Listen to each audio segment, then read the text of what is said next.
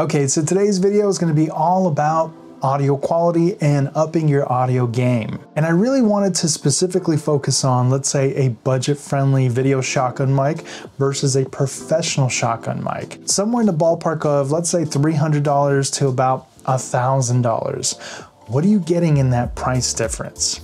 And the best way to show you guys is by doing an audio test. Let's dive in.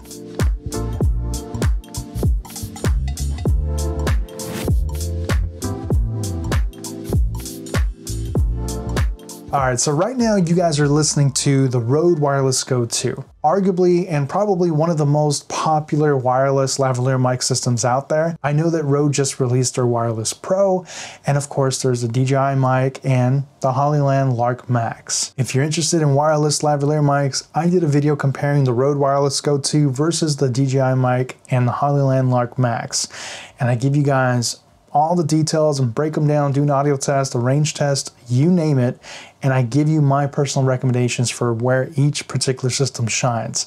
But today we're not going to talk about lavalier mics.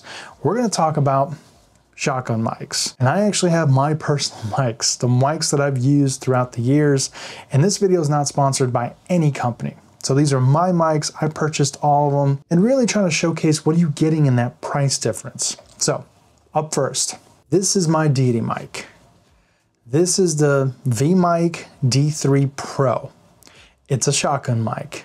In general, I do want to make the statement that shotgun mics are not my first choice or the best choice for indoor audio. But that doesn't mean you can't use them. They still can shine. I think they're probably the most versatile mics period. Because they can definitely be used outdoors. That's where shotgun mics really shine is outdoor use because they're very directional. Wherever you point them, that's the audio you're going to get. But they still can be used indoors. It just takes a little bit more effort from you. Basically, you need to make sure you soundproof your room. If you do that, and if you do that correctly, then you won't get this weird phenomena where the shotgun mic will basically have phasing. Because they're so directional, if you point them at a weird angle, and sometimes you just don't know what causes it or which angle causes it, you'll get something called phasing, where basically the reflections, the sound reflections off the room, will actually and kind of rarely bounce back into the shotgun mic. You'll clearly hear, and there's no way to edit it, it kind of ruins your clip. But if you soundproof your room correctly, you will avoid that. And shotgun mics will still sound amazing indoors. However, if you're primarily shooting indoors and you're not necessarily going to see yourself shooting outdoors, then a small condenser mic like the Sennheiser MKH50 or 8050 will be perfect for indoor usage. But if you're going to do it all and you can only have one mic, then a shotgun mic is the way to go. And personally, I recommend a Sennheiser 416 if your budget allows it. But we'll get to the 416 in a bit. The Deity was my first serious purchase in audio quality, and the D3 is actually a great microphone. It does take a 3.5 millimeter jack, so it's something you're going to connect directly to your camera. That has its pros and cons. You don't have to sync anything up, although it's very easy to do so later. But you don't have to sync anything up. Everything gets recorded directly to the camera. What you usually want to do is lower the input gain as much as possible in your camera and increase the input dial or the output dial on your microphone because usually the preamps on the microphone are better than camera preamps in general and that will usually get you the best audio. Professional mics like the Sennheiser take an XLR cable and again we'll get to that in a sec but this Deity is incredible. It's really a video mic but you can boom it, you can do anything you want with it and the sound quality is fantastic. Now here's the second mic. This is a Sennheiser MKH416. This was a legendary mic that was a standard in Hollywood for many, many years. Chances are you've heard this mic a lot in all of your favorite movies. And in particular, it's not necessarily the standard anymore, but I can guarantee you any serious person out there that's doing audio for a living will still carry the 416, even if it's just a backup in their toolbox because it's just so reliable, it's completely bulletproof. It has very great audio quality, legendary audio quality. Actually, it's kind of built up a reputation lately for being a voiceover mic, which is crazy, but it can do it. And the best thing about the Sennheiser 416 is it's just reliable in almost all weather conditions. in humidity, in RF, you know, interfaces or other frequency interfaces. It just shines, it stands out, and it's an old design. I think it's from the 70s. So what are you getting when you purchase a Sennheiser versus a Deity D3? Well, the Sennheiser goes for a thousand bucks. The Deity, I think now is priced around 200 bucks. I think there's a D4 now, if I'm not mistaken. But when it was brand new, I think it was around 350. That's a big price difference. Well, right off the bat, Sennheiser's built way better. You can feel the weight difference here. And that's expected. A $1,000 difference, that's a big deal. Sennheiser's longer. Like I said, for indoor usage, a small condenser mic, for example, the 8040 is like that big.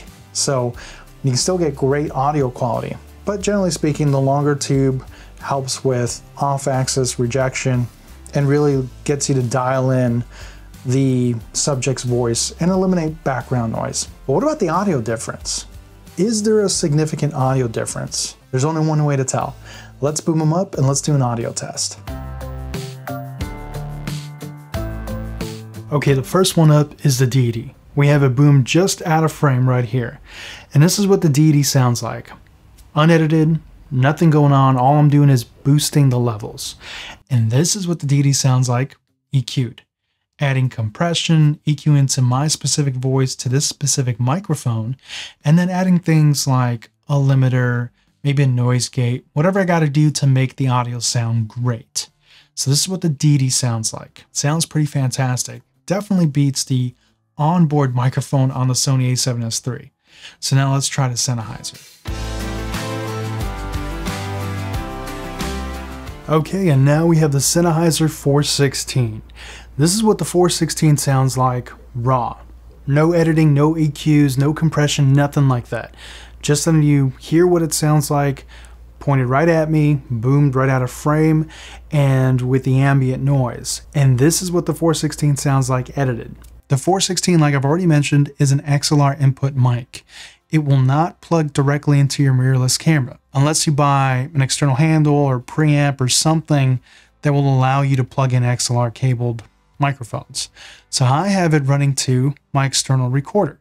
That already gives you a huge advantage over a 3.5 millimeter only input jack shotgun mic. Like I said, the Sennheiser is a professional mic that has a reputation. It's held up its own for decades. It's not like it used to be where it was almost in every Hollywood movie. It's been replaced, but you still will find it from time to time, which is really cool. But I guarantee you it's still being used as a backup even today. And because of its weather resistance and just its sheer build quality and reliability, you'll find it being pulled, especially when you're in very humid climates. But this is what the price difference gets you with the Sennheiser 416, and I think it sounds amazing. And it's by far my favorite mic.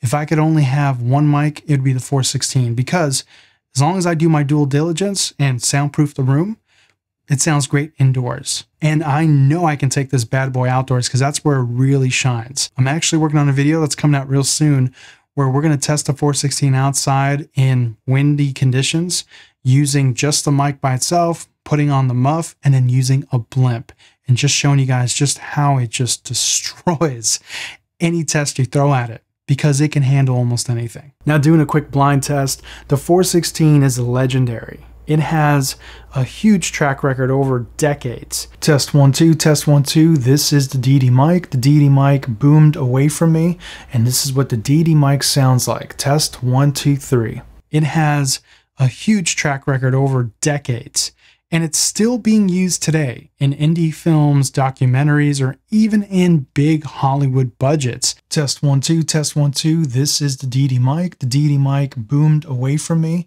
and this is what the Deity mic sounds like. Test one, two, three. So that's it for me, guys. I hope you found this video informative, and hopefully, I really demonstrated what you're getting when you level up to a professional mic. Not only are you getting great build quality, but the sound, at least to my ears, dramatically increases. Now, it's not to say that a budget friendly mic like the D3, I think the D3 is fantastic, by the way, doesn't do a great job, and it does. And once you EQ it, it sounds phenomenal. But you always want to get the best possible sound when you record. You want that raw recording to be almost perfect. It's never going to be perfect, but you want to try to achieve perfection. And then in EQ, you're just fixing things. And the Sennheiser is perfection. Catch you guys in the next video. Take care.